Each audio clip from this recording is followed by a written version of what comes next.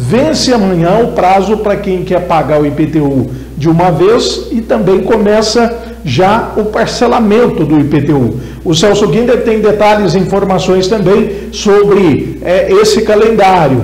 É, pagar imposto é difícil, mas chorando ou rindo tem que pagar, né, Kinder? Não tem jeito, né, Samuel? Sem choro e nem vela. Pagar tributos, pagar impostos é o que nos cabe. E a Prefeitura de Franca divulgou que os contribuintes municipais que ainda não realizaram o pagamento do Imposto Predial Territorial Urbano, IPTU, têm prazo, como você já apontou, até o próximo dia 15 de março para fazê-lo, em cota única, ou seja, amanhã.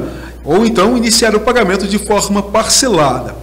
O contribuinte que já fez a quitação do imposto e não conta com débitos inscritos em dívida ativa da Prefeitura, no final do mês estará concorrendo ao primeiro sorteio do ano do projeto IPTU em Dia, no valor de R$ 76.600, cujos números serão conhecidos na última extração da Loteria Federal de março.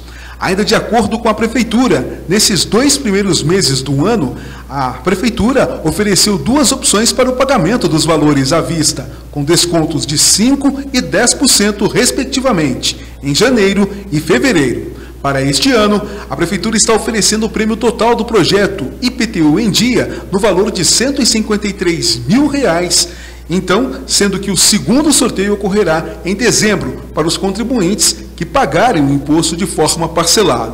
O valor de R$ 76.600 é sem o boleto, aliás, é sem o desconto do imposto de renda.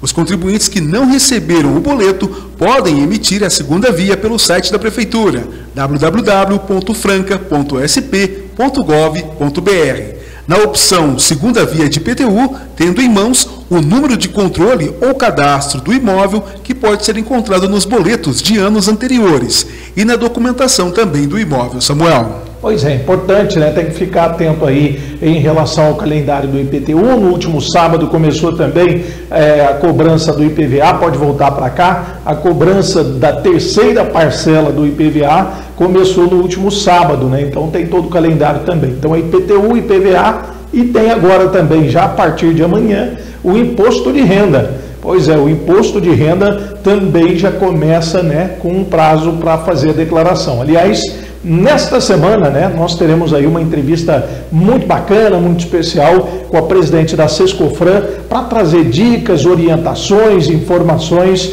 relacionadas ao imposto de renda e outras novidades também.